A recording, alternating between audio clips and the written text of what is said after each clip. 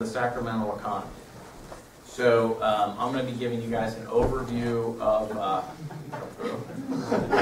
That's all right. We're on, we're on camera. We got you. No, he, he's late. Yeah. Don't worry, we won't tell Father Jerome. I'm sure he'll never see this. Uh, so, so anyway, so the sacramental economy. Um, basically, I'll give you an introduction to the sacraments this evening. Um, we will answer any questions that you have uh, to the best of my ability. Uh, and then uh, we'll break down into uh, our normal, you know, uh, small believer groups.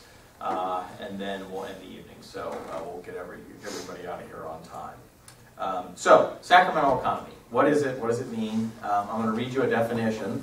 Uh, the definition is the church was made manifest to the world on the day of Pentecost by the outpouring of the Holy Spirit. So as Catholics, we believe that the um, church started, um, you know, on the day of Pentecost, right? You know, that's when we believe the birth of the church happened. So, you know, when the Holy Spirit was made manifest, um, you know, through uh, the um, the apostles being, um, you know, uh, all together. You know, we remember the the, uh, the, the, the Book of Acts where it talks about the earthquake and everybody started to, um, you know, uh, speak in tongues, but they could understand one another, right? So um, the outpouring of the Holy Spirit. Um, the gifts of the Spirit, again, the Holy Spirit ushers in a new era in the dispensation of the mystery, the age of the church, during which Christ manifests makes present and communicates his work of salvation through the liturgy of his church until he comes. In this age of the, of the church, Christ now lives and acts in and with his church in a new way appropriate to this new age.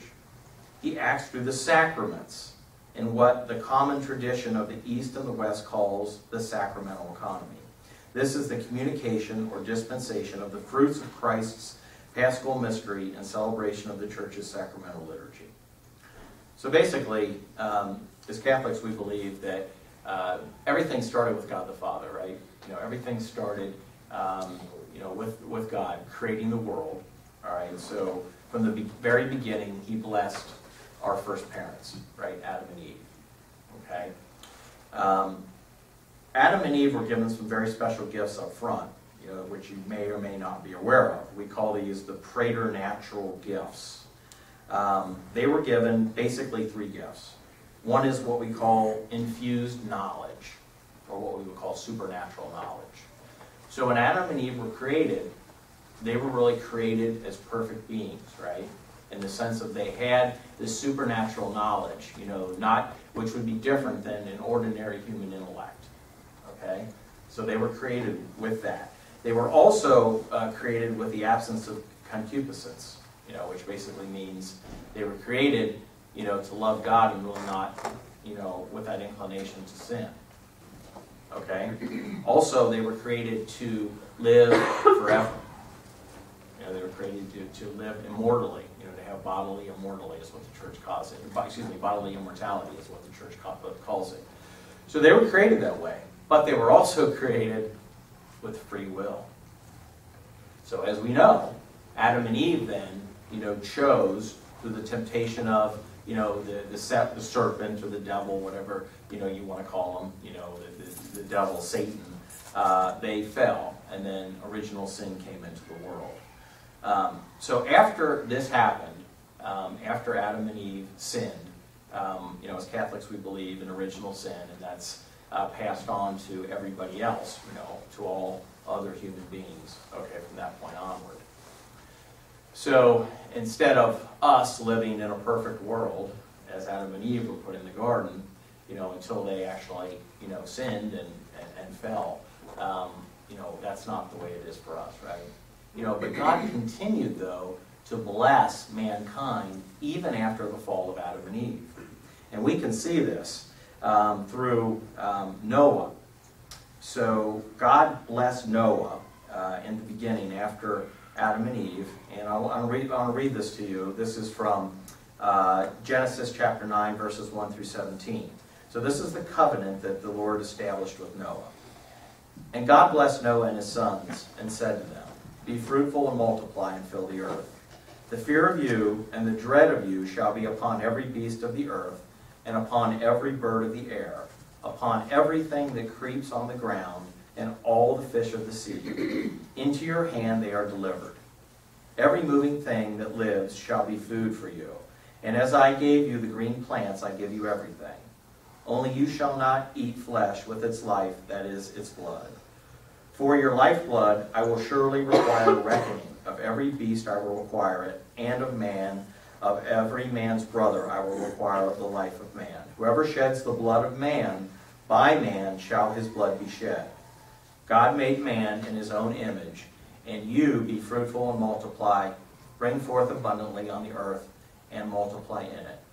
Then God said to Noah and to his sons, Behold, I shall establish my covenant with you and your descendants after you, and with every living creature that is with you, the birds, the cattle, every beast of the earth with you, as many as out, as many as came out of the ark. I will establish my covenant with you, that never again shall all flesh be cut off by the waters of a flood, and never again shall there be a flood to destroy the earth. And God said, This is the sign of the covenant which I make between me and you and every living creature that is with you for all future generations. I set my bow in the cloud, and it shall be a sign of the covenant between me and the earth. When I bring clouds over the earth and the bow is seen in the clouds, I will remember my covenant, which is between me and you and every living creature of all flesh. And the waters shall never again become a flood to destroy all flesh. When the bow is in the clouds, I will look upon it and remember the everlasting covenant between God and every living creature of all flesh that is upon the earth. God said to Noah, This is the sign of the covenant which I have established between me and all flesh that is upon the earth. So here we have God establishing this covenant with Noah. And the, and the, and the sign of that covenant, right, is the rainbow, right? So God said, you know, never again, you know, shall I bring the flood waters upon the earth. And the sign of this covenant is the rainbow that's in the sky. Um, so we see here, even though um, our first parents fell in sin, God continues to pursue us, right, through this first covenant with Noah. We see another covenant with Abraham. And uh, in Genesis chapter 17, the covenant with Abraham is seen, and it's verses 1 through 8. When Abram was 99 years old, the Lord appeared to Abram and said to him, I am God Almighty. Walk before me and be blameless, and I will make my covenant between me and you, and will multiply you exceedingly. Then Abram fell on his face, and God said to him, Behold, my covenant is with you, and you shall be the father of a multitude of nations. No longer shall your name be Abram, but your name shall be Abraham, for I have made you the father of, of a multitude of nations. I will make you exceedingly fruitful, and I will make my nations of you, and kings shall come forth from you. And I will establish my covenant between you and your descendants after you throughout their generations for an everlasting covenant to be God to you and to your descendants after you.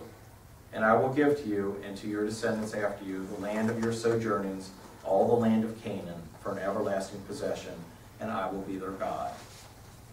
So here we see uh, the covenant that he made with Abraham. He told Abram, he changed Abram's name to Abraham, you know, from father of the nations to the father of the multitudes. So Abram's, uh, Abraham's descendants then were blessed, you know, Abraham, you know, this guy's 99 years old, right? So, you know, his, uh, his descendants are blessed for many, many years. Um, you know, and we see this, you know, through the scriptures. So these blessings continue to be outpoured from God uh, to, to the human race.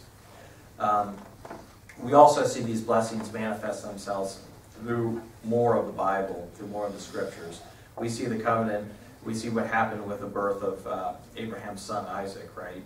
When they went up to the top of Mount Moriah, and uh, Abraham took his son with him, and um, basically, uh, you know, the Lord was, was testing Abraham and said, you know, we're going to uh, have a sacrifice when we get to the top of, uh, of the mountain. So uh, Abraham was with him, and uh, his son Isaac said, well, where are we going to find the goat and the ram, or the ram, you know, to sacrifice? And Abraham said, um, you know, don't worry about that. You know, God will provide the sacrifice.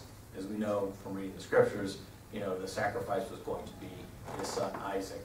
So when Abraham proving, you know, faithful to the, to the Lord, pulled out his knife and was ready to, to kill his son and offer him as a sacrifice, the Lord stopped him and said, no, Abraham, you've proved your fidelity to me. You know, you don't need to do that. You know, um, I'm going to continue to bless you, and you've, uh, you've proven this, uh, you know, through your relationship with me. Um, also, uh, we see it in the escape from Egypt under Moses, right? So here we have Moses, um, you know, the great leader who, who uh, the Lord rose up, and his conflict with Pharaoh. So we see all of the different, you know, things that happen there, you know, all the plagues, right, that happen, um, you know, throughout that. And then we, we finally see uh, Moses uh, take the people out of Egypt, uh, you know, the, the Exodus, right? So he takes them through um, the, uh, the Red Sea. We have the parting of the Red Sea. We see the, um, all of the Egyptians being, you know, stopped in the Red Sea and then ultimately drowned. But we see Moses being faithful to the Lord and the Lord being faithful to Moses. We see the, the Ten Commandments, right? You know, the blessings of the Ten Commandments that um, the Lord gave to Moses.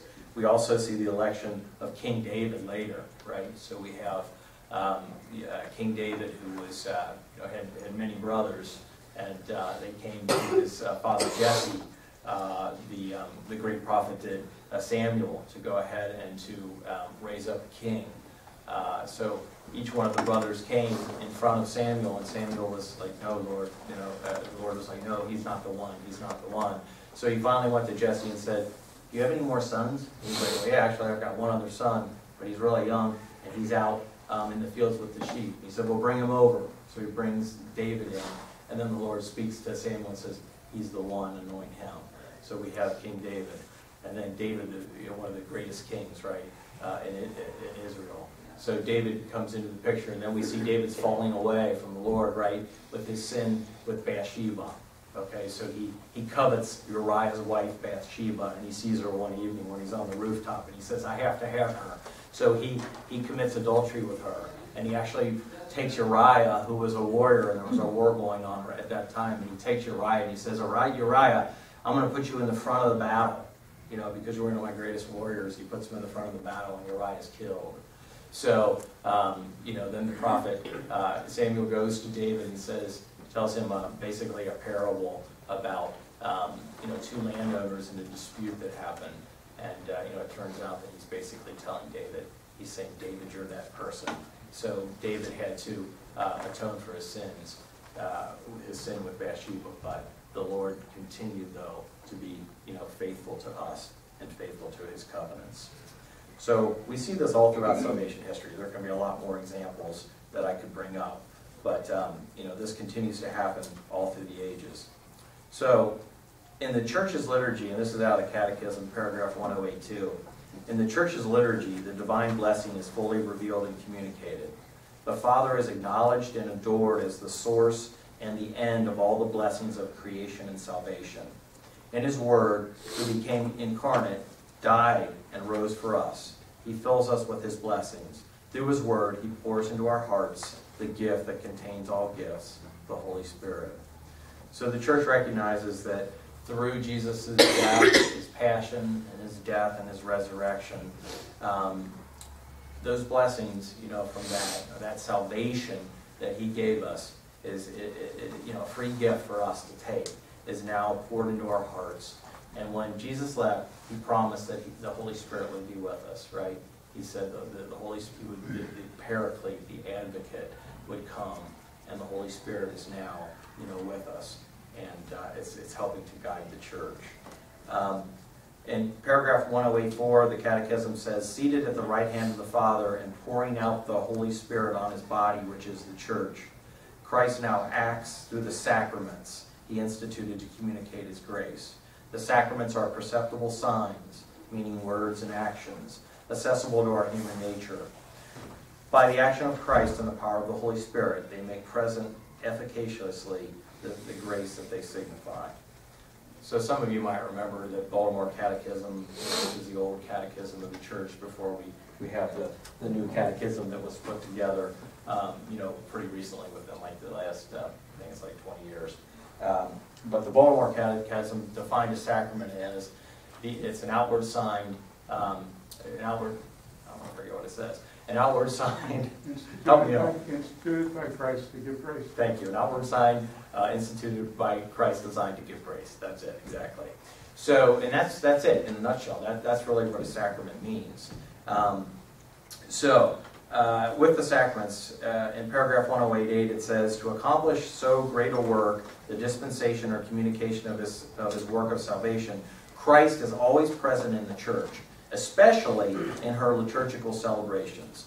So in the Catholic Church, we believe that the Mass is really the culmination um, of our of our worship. So the, the Mass is, is really the pinnacle and the highlight of Catholic worship, right? And you know, a lot of times you might not think that because you might go to a Mass and be like, oh man, I'm bored, or I don't understand this, or you know, the priest is boring, or that homily was no good, or this or that. But you know, as we go through RCIA, we're going to talk more about the Mass, and we're going to talk about the different parts of the Mass, and you know what the Mass you know really means. But it, it, to the to the Church and to Catholics, it's really the the pinnacle of, of our worship. Um, he, meaning Jesus, is present in the sacrifice of the Mass, not only in the person of the minister, which would be the priest, the same offering now through the ministry of priests who formerly offered himself on the cross, but especially in the Eucharistic species. By his power, he is present in the sacraments, so that when anybody baptizes, it is really Christ himself who baptizes. He is present in the Word, since, he, since it is he himself who speaks when the Holy Scriptures are read in church. So he's not only present in the Eucharist, right, but he's present in, the Scriptures. He's present in the Bible. He's present in what we hear at Mass. Um, and he's present in the, in the sacraments. You know, so it says, you know, the, the Catechism says that who, who, so when anybody baptizes, it's really Christ himself who baptizes. Uh, and lastly, he is present when the church prays and sings, for he has promised, when two or three are gathered in my name, uh, there I am in the midst of them. So we, we see, you know, that, that Christ is, is, uh, is present, you know, in the liturgy. Uh, he's also present tonight with us, right? You know, I mean, present all the time, right? But, you know, when two or three are gathered in, in his name, you know, he's going to be in the midst of them. Um, and one paragraph uh, 1113, it's, the Catechism says, the whole liturgical life of the church revolves around the Eucharistic sacrifice and the sacraments. There are seven sacraments in the church. All right, test time. Uh, what are the seven sacraments? Give them to me. Baptism, Baptism, marriage, okay, reconciliation, baptism, matrimony, anointing of the sick. anointing of the sick. That's All right, that's good. That's four. Anybody else, can anybody else think of any others? So we've got baptism, we have the Eucharist, right? You said the Eucharist, didn't you? got. That is it. Oh, okay, sorry. I just gave you another one. Um, So we have anointing of the sick, we have matrimony, we have holy orders, what are we missing? Confirmation. Confirmation. And what else? We got one more. Did she say baptism? You said baptism, right? So we're missing one more. Did we say penance? Did you say reconciliation? I did say reconciliation. You did, okay. We got it then. So seven sacraments, baptism, confirmation, uh, or what, confirmation is sometimes called chrismation in the Eastern rite of the Catholic Church, so you might hear it referred to that. Anointing of the oil. Mhm, That's correct, yes, anointing of the oil, exactly. Uh, and you'll, you'll, um, you'll all be confirmed, uh, when, when you come in on the Easter uh, vigil. Uh, some of you will be baptized, right? Uh, but, um, you know, everybody will be confirmed and everybody will also take part in, uh, in the Eucharist. So we have baptism, confirmation or chrismation, we have the Eucharist, we have uh, the sacrament of penance, or what's also called reconciliation, uh, the anointing of the sick, holy orders, and matrimony. Okay, so those are the seven sacraments. Good job, guys, you did, you did really well. Um, so we call baptism, confirmation, and the Eucharist uh, sacraments of initiation. Okay, so those are the sacraments that are, and those are the sacraments, again, that you guys will uh, be going through. Baptism, confirmation, and the Eucharist. So those of you that haven't been baptized before, you will be baptized um, at the Easter Vigil. Uh, you, um, some churches, uh, you know, some Catholic churches um, actually baptize uh, in a humongous baptismal font and would practice, um, could practice immersion, uh, where you're actually dunked under the water. Um, others, uh, like St. Gertrude's, uh, you're going to have the water poured on you. Okay, so uh, pouring uh, of the water. And then some Um, uh, Protestant churches actually do um, sprinkling, you know, so you actually sprinkle water on you. So any of those are valid, valid baptisms, as long as they're done in the name of the Father, and the Son, and the Holy Spirit. So, um, so we will give you baptismal gowns at the, uh, at the uh, Easter Vigil, but your hair will be wet. And I like when the priest puts a lot of water on. I don't know. All right, we'll, we'll do that.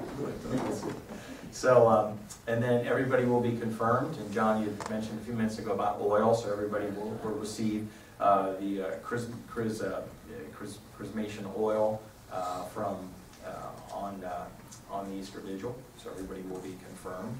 And then everybody will receive the Eucharist. So those are called the sacraments of, um, excuse me, of initiation. Um, we have two sacraments of healing, right? Which would be penance or reconciliation and the anointing of the sick. So we have those two. One would be for physical healing, uh, and the other will be for healing of your, of your soul, or spiritual healing. And then lastly, we have the two uh, other sacraments, um, which we call the sacraments at the service of communion, which are holy orders. So the sacraments uh, uh, for the for the priesthood, uh, and um, also matrimony, uh, right for uh, for those of us that uh, are married or will be getting married. Um, so basically, what that means, sacraments of the service of, uh, of communion, they confer a particular mission in the church and serve to build, build up the people of God, right? So a priest obviously has a mission, you know, to provide the sacraments, to, to lead a parish in some cases, um, and, um, you know, their purpose um, is, it, in, in the documents of Vatican II, I don't know if you've ever looked at the documents of Vatican II or read any of the documents of Vatican II, um, they refer to a pastor as a pastor of souls. So that's referred to, you know, many, many times in the documents. So a pastor is not just a, a clerical position or anything, they're actually a pastor of souls. So uh, that, I like to always remember that when I'm talking to a priest, that that priest is, is a, uh, a pastor of souls. Um, so, definitions of, of the sacraments are found in the Catechism, uh, paragraph 1131. It says the sacraments are efficacious signs of grace instituted by Christ and entrusted to the church, by which divine life is dispensed to us. The visible rites by which the sacraments are celebrated signify and make present the graces proper to each sacrament. They bear fruit in those who receive them with the required dispositions.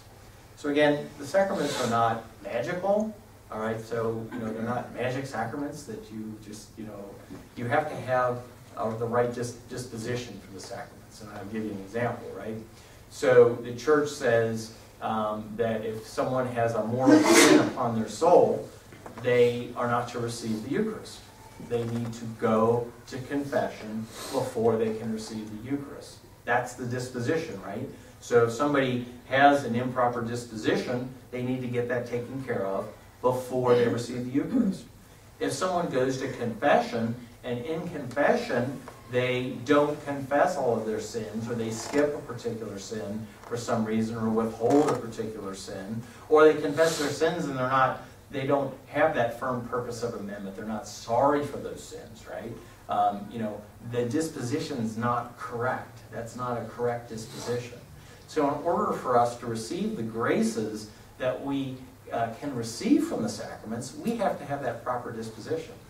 So how do we get that? Well, we get that by establishing that personal relationship with Christ and living our life in the in in the way according to what Christ how Christ wants us to live. Does that make sense? So you know we, we need to make sure that you know if we have any serious sins on our soul that we go to confession and we get those sins taken care of. We have to do that. You know we have to seek that forgiveness. You know and we got to make sure that we cultivate you know that relationship with Christ. We have to you know, spend time, you know, like we talked about in our small group last time, if a, a couple are, are engaged or, or, a married couple or whatever, I mean, you have to spend time with that person, you know, in order to get to know that person, right? You know, that's what you have to do with, with Jesus. I mean, you can't just like go to Mass once a week and go, yeah, I got a great relationship with Christ, I'm telling you. You know, no. I mean, you have to have prayer. You have to, you know, go ahead and, and read the scriptures. You have to get to know Him. You know, you need that personal relationship. So, The church gives us all of, all of the guidelines, right? But it's up to us. well, you know, the church can't do it for you. You know, you need to accept that grace. And the sacraments are a great way to get that grace, you know, from, uh, uh, from the Lord. Okay, so um, we believe as Catholics that, um, again, they're efficacious signs, meaning that they're effective, okay? So that when we go to confession as a Catholic, we know that we are forgiven of our sins. We know that Christ has forgiven those sins through the priest, okay? We know that. So we know we have that, that forgiveness. Uh, we know when we receive the Eucharist that we're receiving the body and blood, soul, and divinity of Jesus Christ in the Eucharist. We know that. When, you, when you're baptized, okay, any sins that you've committed up until that point of baptism, they're all forgiven. Okay? So you guys that are baptized for the first time, you don't have to go to confession, you know, because baptism is going to wipe away all those sins that you've committed in your past. Now, when you walk out the church doors, I would say you're probably going to sin again at some point, right? So you will have that sacrament of confession at some point. But that's what baptism does. So we know that, you know, through the proper means of baptism, that those sins, you know, are, are forgiven. Okay? Um, and so forth. So, with confirmation as an example, when, when we're confirmed, right? You know, when most, most Catholics, I would say 95% probably are baptized as infants. So they're baptized as babies, they don't remember their baptism, that's how it was for me. You know, but their parents are standing up and saying, you know, hey, you know, we are going to raise our child or children in the faith. And then, you know, later they're going to have to make an adult decision whether or not they're going to continue on in the faith and whether or not they're going to pursue a relationship with Christ. Well, that's what happens in the Catholic Church when you're confirmed. You know, you stand up, you know, and you say, you know, I am, you know, going to, I can't remember the word of confirmation anymore, but whatever those are, you know, you're standing up in front of the assembly and you're saying, you know, I, you know, am going to go forward with the faith. I believe in what the church teaches, and I'm going to go ahead and, uh, you know, bring that into my life. All right? So, um, and then in holy matrimony, right? So when, when we're married, I mean, we're standing up there with our spouse, and uh, you know, once we're married, and the goal of a married couple, you know, the goal of a husband and wife should be to get that spouse to heaven. That should be the primary goal of the relationship. Get your spouse to heaven. Get your kids to heaven, right? I mean, that's what you should be doing. Um, also, um, uh, the, uh, of course, you know, holy orders, that's a special grace that people are given, uh, you know, in the priesthood, you know, the ministerial priesthood. That's a, that's a special gift that Father Jerome has, and that Father Ezra has, and Father Andre Joseph, all the priests up here, all, all priests all, you know, everywhere. Uh, and then, um, and then what we call uh, uh, anointing of the sick. That's another one uh, that the, the, the priest, only the priest, can go ahead and administer anointing of the sick. Okay, so the Catholic Church has healing services. That's different than anointing of the sick. The anointing of the sick is a, is a sacrament. So, you know, where you know a priest comes in and anoints a person. It doesn't have to be if someone's dying. You know, it, it can be for a person that is facing surgery, right? Is going to be put under. You know, uh, it can be for a person that has cancer or a person that's in the hospital for this reason or that reason. But it has to be something, you know, serious. It's not going to be for somebody who has a cold, okay, or something like that. But, you know, it's got to be for, for something pretty serious. Okay, so, um, and this is how, this is how serious um, that, uh, that we, we believe that Christ instituted the sacraments. And this is from the Council of Trent, which happened way back when, in 1545. It was a council that lasted from 1545 to 1563. And in one of the canons in the Council of, the, of Trent, it says, If anyone shall say that the sacraments of the new law were not all instituted by Jesus Christ our Lord, or that they are more or less than seven, to wit, baptism, confirmation, the Eucharist, I go on to name all of them, uh, or even that any one of these seven is not truly and properly a sacrament, let him be anathema. All right? What does anathema mean? Let him be thrown out of the church. so, you know, I wouldn't say that today. But, you know, but the point is, is that the church seriously, you know, uh, recognizes the sacraments. And we also believe, you know, that the sacraments are necessary for salvation in the sense that Christ set up the church, Christ gave us the sacraments, and the sacraments are ways, you know, that we can grow closer to Christ. So church teaches that the sacraments are necessary for, for salvation. Um, And we also believe that sacraments transmit divine life, meaning that